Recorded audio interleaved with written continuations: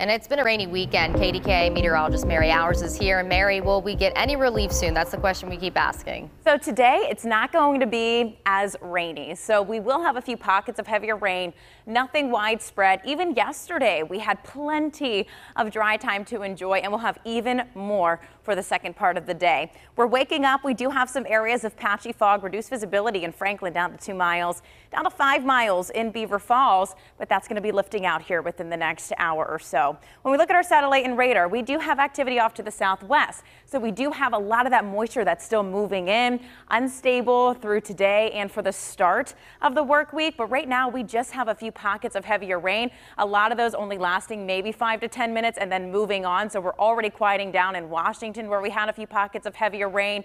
And now we're seeing a lot of these showers and storms just moving well off to the east. So just now east of New Alexandria. So through this afternoon, we just have that that chance for a few isolated pop-up showers.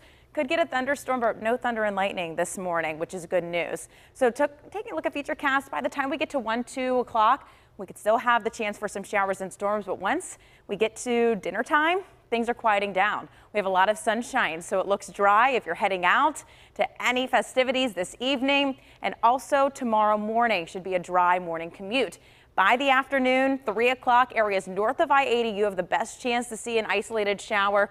Could have a thunderstorm, and then that chance will last through Tuesday. They become a little bit more widespread, and that'll be through the afternoon with daytime heating. Things will stay very mild and humid and unstable until Wednesday. We'll catch some relief from the humidity. Wednesday will be our last chance of rain for the rest of the week and weekend. So currently we're looking at temperatures at 72 degrees. It is mild. It is muggy. You're going to notice that if you're going out for your walk or run.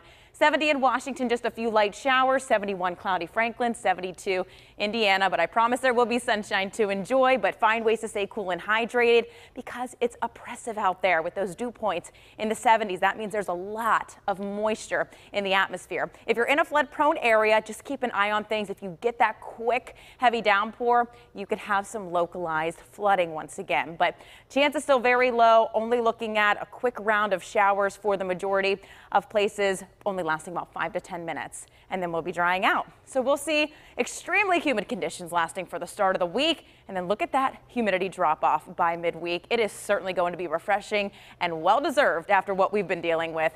Chance for rain will last through Wednesday and then Thursday, Friday, Saturday, looks absolutely fantastic. Your eyes are probably already taking you to the end of the week, but let's get through today, tomorrow, and Tuesday. We'll have the chance for some scattered showers and storms. Our lows well above average, right around 70 degrees. It's going to feel in the upper 80s for many areas, especially when you factor in that humidity. By Wednesday, scattered showers and storms around. We catch relief from the humidity. Temperatures right around 80 degrees. And by Thursday, Friday, and Saturday, mostly sunny, low temperatures even in the mid to upper 50s, and high temperatures staying slightly below average with a lot of sunshine.